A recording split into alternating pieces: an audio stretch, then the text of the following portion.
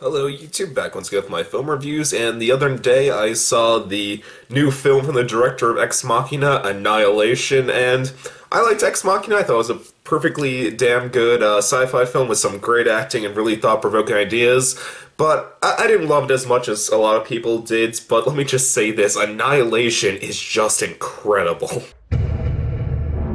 Let me see him. He's extremely ill. You have to tell me where he was, what he was doing. It was his decision to go in. It's something they termed the shimmer. So Annihilation, the latest from the writer director of uh, Ex Machina. I'm pretty sure this is his second film, and uh, of this film, it's about a woman whose husband mysteriously went missing in action a year ago, who suddenly just appears at her house with no idea where he's been for the past year, and then she learns he was on a mission that brought him to the mysterious Shimmer, a bizarre purple orb of light that no, no, one goes in and out of. So she joins up with a group of scientists to go in and see if they can find what's causing this. That's the of this movie. Let's get into the good and bad of this movie. Let me just say this, the cast in this film is just fantastic. Uh, for all the people who are yelling and won't stop moaning about how there's no good female representation film, you know, maybe if you don't let films like this bomb as much, there would be more because this is a film that stars five females. They're all scientists. They're all all freaking awesome. The uh, it's uh, Natalie Portman, Jennifer Jason Leigh, Tessa Thompson, uh, Gina Rodriguez, and Tuva Hotni. I hope I'm saying that right. And they're all great. They're all they're all intelligent, capable uh, people. There's no real male actors in this film except for Oscar Isaac, and he's a pretty minor part. And, and like any good feminist piece, the thing that this film does um, with the, the fact that it stars woman is the fact that it doesn't bring attention to the fact it stars woman. It just happens to star woman. It's not like something like Ghostbusters in which they try to hide behind the fact that it stars woman. So when you call out from your crappy film, they'll they can just try to argue that you're sexist. No, this is this does what something like the Star Wars reboots do, or the new Star Wars films, or Jessica Jones or Wonder Woman does it, which is just a film that stars women.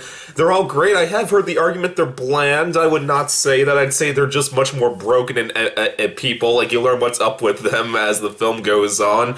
And I really I cared when they all started dying off and and like they do feel very human. Like when they're in very this, this insane situation, stuff stuff starts stuff starts to get really intense. They start losing their mind. I fully understood why they were making the choices they did. Like I, I was like, you know, if I was in this situation, I don't know if I'd be able to keep a level headed through all of this. And uh, so the cast in this film is just great. Uh, this is and this is just a visually striking film. Uh, the inside of the shimmer, it's it, it's one of those things. It's very pretty, like it's very lush, like it's very colorful, but it's also very creepy at the same time because everything just feels somewhat off about it. Like everything just feels unnatural, and you do learn there's a reason for that later on the film, but it's really effective in its imagery that way. And let me just say, this is a sci fi film like no other. I can only describe this as this film sits somewhere between Arrival 2001 A Space Odyssey and the original Alien because it's a beautiful, thought provoking, artistic film and it's also completely horrifying at the same time. Like this movie can be so creepy in a few scenes. There's one scene in particular that involves a involves like a giant mutant creature with a, that isn't that what comes out of its mouth. I would just like, wow, this is hell. This is literally what must await you at the gates of hell. Is this goddamn monstrosity? it was horrifying, and it all leads to a an ending that just had me thinking about this film and li- and what it all meant long after the credits rolled. So this is truly a fascinating uh, sci-fi film for the fact it's so creepy, it's so thought-provoking, and it's so artistic all at the same time. And if I had any negatives to give to this film, I would say my main issue with this film is the cast and not the uh, actors who play them, just the casting in the fact that like I said, this isn't a spoiler. They make it very clear from the word go that most of these characters are going to die. And uh, uh, let me just say this: the the, main, the five main actors. There's two Hollywood heavyweights with uh, Lay and Portman. There is two beloved up and comers with Rodriguez and Thompson, and there's one actress I have never seen before in anything besides this uh, with uh.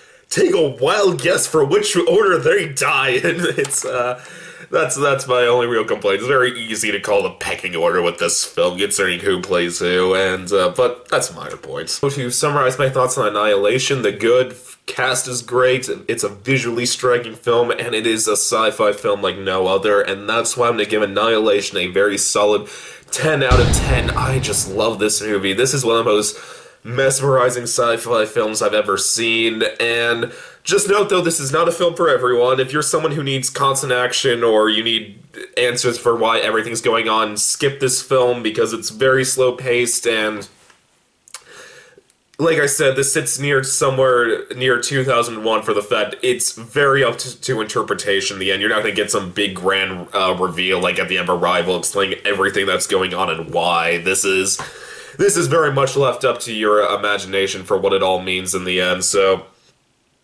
yeah, so, uh, so if you're one of those people, skip this film. But everyone else, I'd say go see this. This is one of the best sci-fi films I've ever seen, and it was a huge bomb. And my so my guess is it's going to be on Netflix in the next few weeks because it's already on Netflix in every other country besides America. So if you're at all interested in this film, I'd say definitely go uh, boot up on the Netflix queue when it comes out, and because this is truly fantastic. And yeah, so YouTube as always, please subscribe, and I'll see you next time. Okay, bye.